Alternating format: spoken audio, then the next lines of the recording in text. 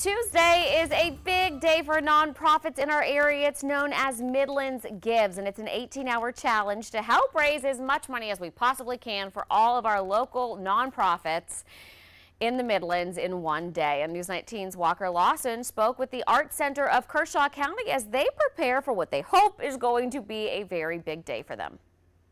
Painting, singing, clay making, and theater are all huge elements of the Art Center of Kershaw County.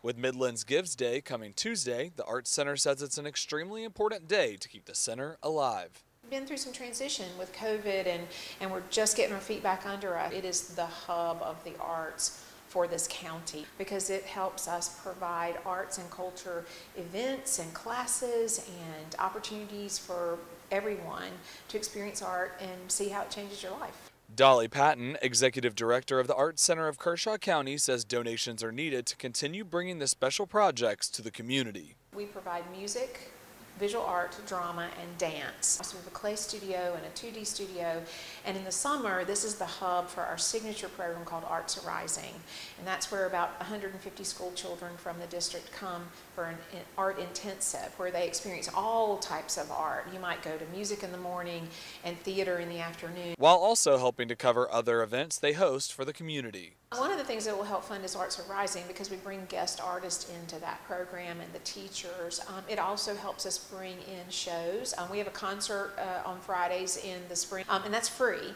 So we do need funds to help provide. Finally, Friday in the fall, we do a big blues festival for a weekend. We're doing a play this summer. Um, so that's the, the types of projects that these funds help. Uh, a lot of folks think your ticket sales pay for everything. They don't. They don't come close. So it takes donors to keep this place alive. The center is aiming to raise $10,000 tomorrow. For Street Squad in Kershaw County, I'm Walker Lawson. All right, well, tomorrow is the big day. Set your alarms bright and early. Donations are being accepted from 6 a.m. to 11.55. 9 p.m., so basically 6 a.m. to midnight. Uh, to donate to any nonprofit of your choice, you can go to midlandsgives.org. We also have lots of coverage about the event at WLTX.com.